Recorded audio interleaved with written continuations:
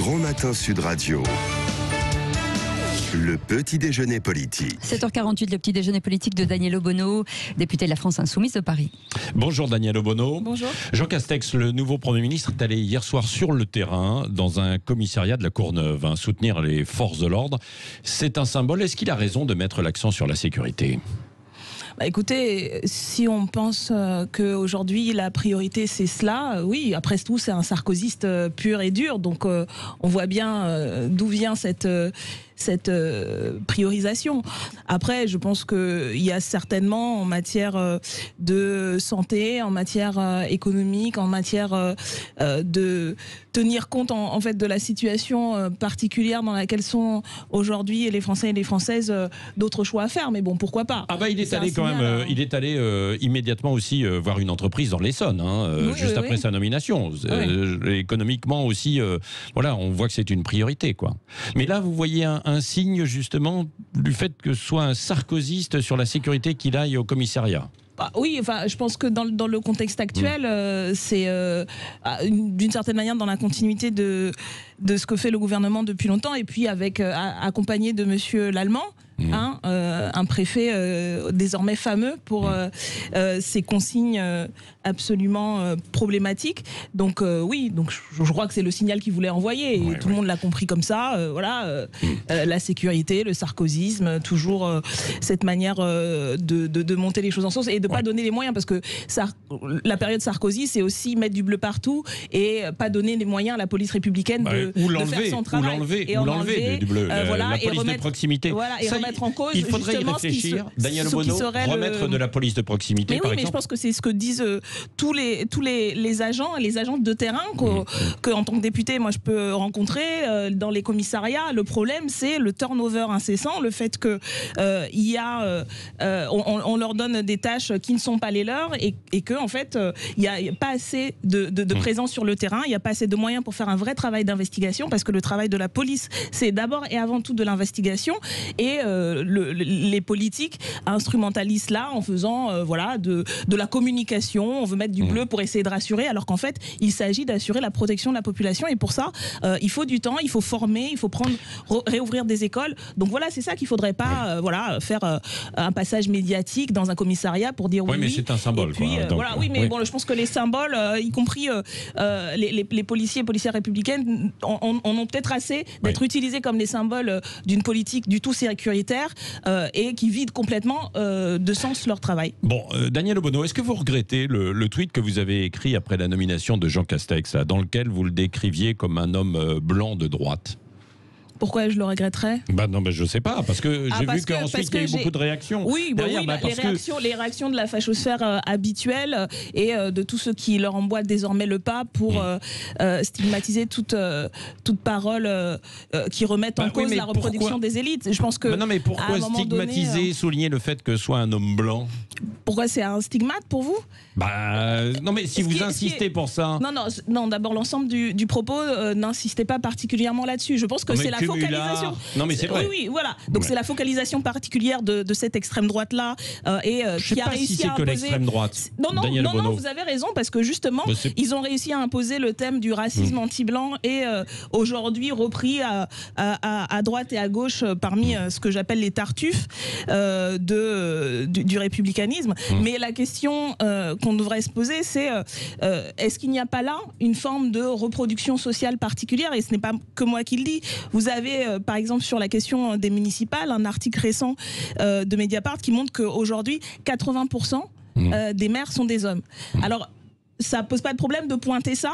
Euh, on peut on peut pointer le problème euh, de euh, du, du, du plafond de verre, 85%, Quatre- ouais, du Mm. plafond de verre Alors- qui existe aujourd'hui euh, dans le pays en matière euh, de, de discrimination des femmes pour accéder Ah bah, aux non, mais fonctions. il y a des femmes. Il non, y mais a il y a, il y a quand même des femmes. 80%, Non, mais- 80% mais- des maires, mais c'est l'élection la plus la plus la plus mais, euh, mais euh, de proximité je conteste pas, j'ai pas vu euh, ces Donc- chiffres, Daniel donc- mais cela dit, non, non, mais il y a des existent. Donc, euh, donc euh, là, les plateformes vertes Hidalgo à existent. Paris, Rubirola à Marseille, euh, Martine Aubry, Oui. dans les les plus grandes villes Ah de oui, France sont oui. détenues par des femmes, et ce qui est, Oui. ce qui est une bonne chose. Oui, donc, et ça euh, ne représente que euh, 20%. ah bah, c'est pas n'importe quelle ville. hein. Oui, c'est pas n'importe. Ah non, mais c'est Ouais. très Bah, bien. Après, on peut être critique, y compris de, de ces politiques-là. Mais donc, vous voyez que Mm. on pourrait, on peut avoir une, un, un- un- un débat sur le problème de la représentation et des plafonds de verre et comment, dans les plus hautes fonctions euh, aujourd'hui, euh, électives ou nominatives, pas simplement dans le monde politique. hein, je pense que les conseils d'administration des grandes entreprises, dans les médias, etc. Il y a plusieurs plafonds de verre. Et ça, c'est ce que disent, euh, y compris toutes les enquêtes sur le problème de la représentation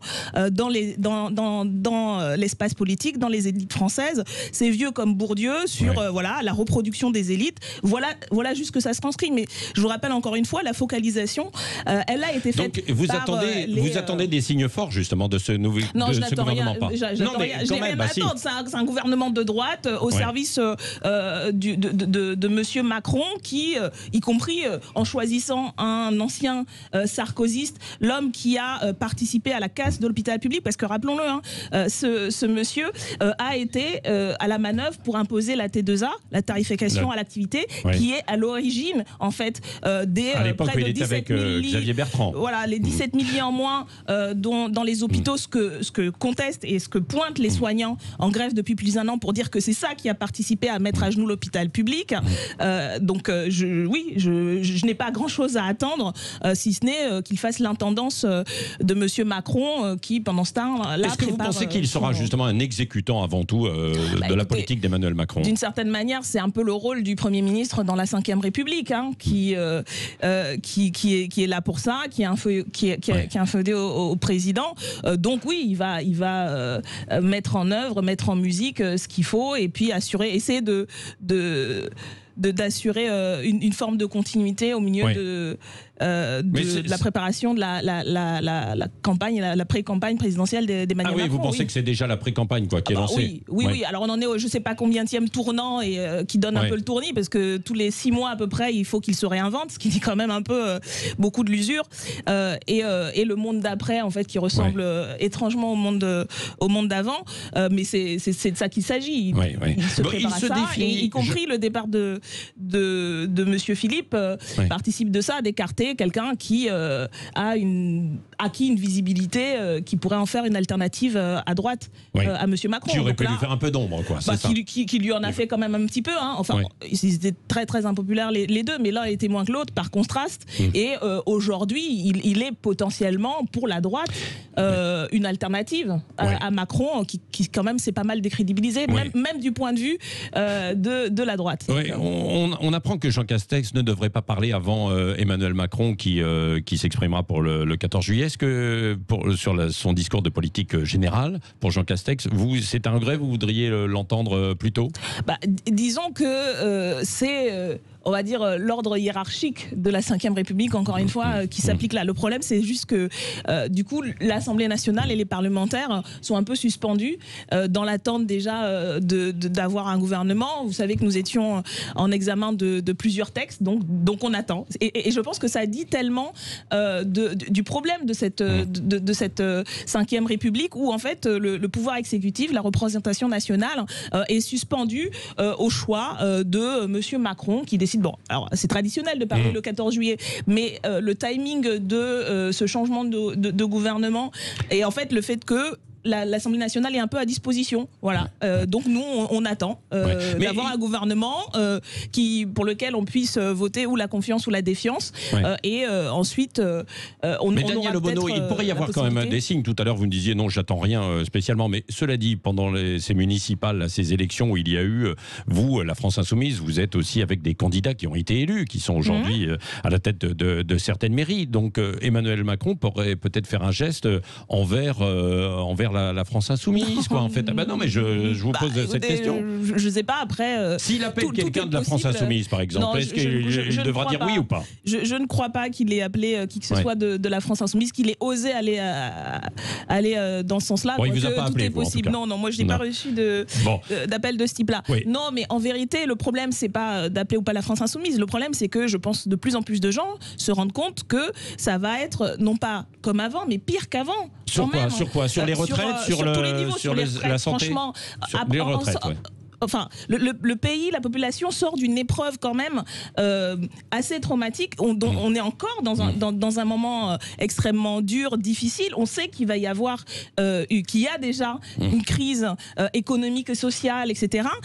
Et ils nous remettent sur la table une des réformes les plus décriées de, de- du, du, Il faut du quinquennat. Mais bien sûr. Enfin, il, il fallait déjà l'abandonner quand il y avait Oui. des milliers de personnes, des centaines de milliers de personnes dans la rue. Ouais. Aujourd'hui, on voit bien, y compris même le principe de cette retraite à points, dans une période de crise économique, eux-mêmes avaient dit que ce serait une variable d'ajustement. Donc ils veulent nous remettre ça. Je pense que ça, ça dit, voilà, quelles sont les priorités de ce gouvernement antisocial, anti-écologique euh, et euh, sécuritaire. Et voilà, on a euh, Oui. Sarkozy bis, euh, en en pire. hein, euh, Daniel euh, le mot de la fin avec Cécile de Ménibus. Oui, la France insoumise s'est largement euh, exprimée hein, sur les violences policières et, et dernièrement euh, sur l'affaire Traoré. Et pas un mot sur la gendarme euh, qui vient d'être euh, tuée, euh, euh, qui a été percutée lors d'un contrôle euh, routier, euh, un refus d'obtempérer. On vous a pas du tout entendu. Vous ne soutenez pas les forces de l'ordre dans ces, dans ces moments-là? Ah, bien sûr que si. Et Je pense que euh, si vous regardez attentivement, alors. euh, euh, Personne n'a tweeté de chez vous. hein. Non, mais écoutez, moi, euh, ces derniers temps, j'ai plus reçu en fait euh, des, des alertes et euh, on était plus occupés à nettoyer euh, les fils Twitter euh, remplis d'insultes et d'injures racistes et sexistes qu'autre chose. Mais si Mais vous me posez la voir. question, si vous me posez la question de savoir euh, est-ce que nous exprimons euh, notre Oui, solidarité, notre absolument. soutien, oui, bien sûr, comme nous l'avons fait à chaque fois que c'est arrivé. C'est c'est une terrible tragédie euh, et je crois qu'il n'y a pas lieu vraiment de créer, de, de, de chercher une polémique. Nous l'avons toujours Non, dit et je crois que à Ce tous qui les niveaux dans un sens, les à, valable à dans tous l'autre les aussi. niveaux, euh, voilà, vous, vous compreniez que bah, on on est- on n'est pas toujours euh, au quart de tour euh, sur euh, toutes les questions, y compris euh, si vous me parlez moi ces derniers temps. Oui, j'étais plus occupée euh, euh, et mon équipe était plus occupée à, à, Sur à se débarrasser de, de- de- des attaques racistes et, et- et sexistes dont j'ai été euh, la cible ces, ces 48 dernières heures, donc dernières heures. Ouais. Euh, mais euh, je, je pense peut même d'ailleurs que mon collègue euh, Hugo Bernalicis a dû s'exprimer puisque c'est lui notamment qui, qui, qui suit ces questions. Mais dans tous les cas, oui, la France insoumise, comme elle l'a toujours fait, ex- exprime ses, ses condoléances aux proches, aux collègues de, de, de cette gendarme et, et assure de, de notre solidarité voilà, à toutes les, euh, toutes les personnes Merci, concernées. Donc, merci euh, Daniel de député polémique. La France Insoumise de Paris, d'être venu, euh, on a débordé un petit peu, hein, Oui. d'être venu euh, ce matin au micro Sud Radio. Restez avec nous. Il est bientôt 8 h